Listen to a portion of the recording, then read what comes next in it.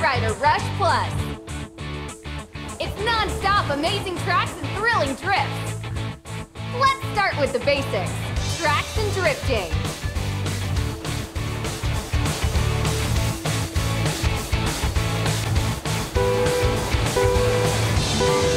Tap here to get moving.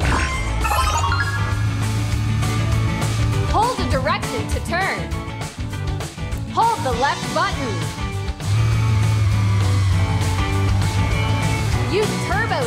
To zip down straightaways. Hold the blank area of the screen until it triggers Turbo Tab.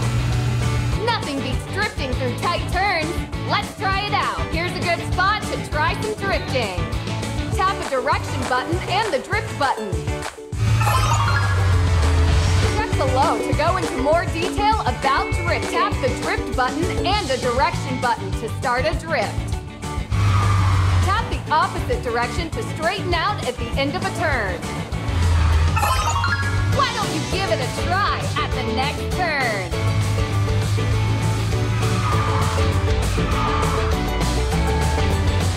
Drift after activating Nitro to trigger a drag. Stop steering to automatically exit the drift.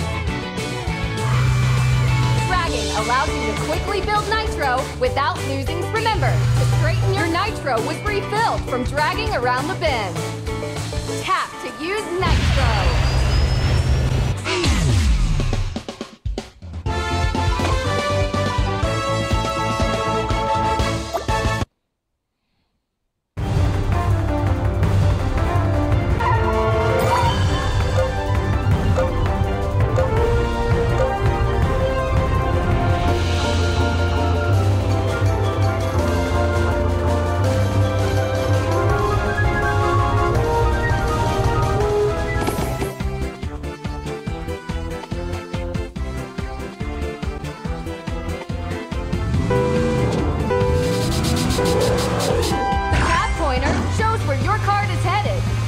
To avoid obstacles.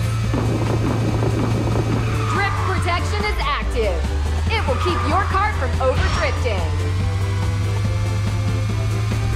For now, try to drift within the safe drift zone.